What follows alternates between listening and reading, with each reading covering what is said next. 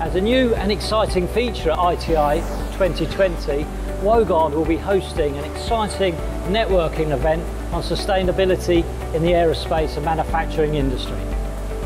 We'll be looking at sustainability in the sector, challenging mindsets to find new solutions to improve the environment we work in, whilst maintaining profitability and ensuring facilities are good places for people to work in.